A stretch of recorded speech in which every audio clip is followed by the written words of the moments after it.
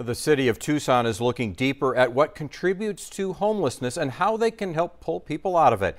Nine on your side's Reyna Preciado attended a forum today where city leaders laid out their plans for change. Reyna?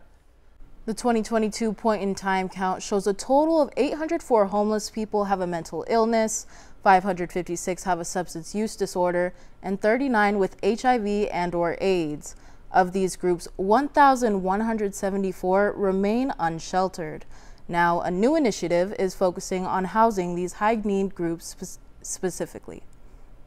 It's something that is important for us to keep talking about and working together. The City of Tucson Housing and Development Department and Tucson Pima Collaboration to End Homelessness want to use data to help those most in need. Today's conversation focused on a new initiative called FUSE, which stands for Frequent User System Engagement. This system collects data on who the frequent users are of costly crisis services like emergency rooms, jails, and shelters. With this initiative, what we know, and again, proven evidence-based practices is that when we coordinate those systems, that sharing of data and coordinating of resources, we see a decrease in the use of those different systems. This data shows which individuals have health or behavioral issues and provides them with the resources they need to get them housed.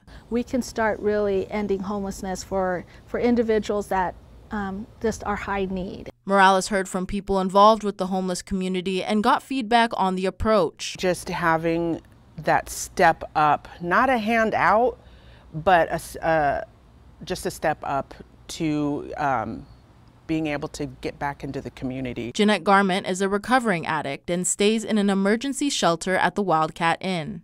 Unfortunately, with my uh, record, that has been a major issue on um, being homeless. Garment is now nine months sober and says having shelter has helped her recover. I didn't have anything to to really worry about. You know, now that I do have the housing available, um, it's something to strive for to keep. She's waiting on her housing voucher along with other residents at the Wildcat Inn. Morales says this new initiative will help keep people like Garment housed. The goal is to end homelessness for the individual. City, city leaders say this will also save money by keeping more people out of hospitals and jail. In Tucson, Reyna Preciado, KGUN 9 on your side.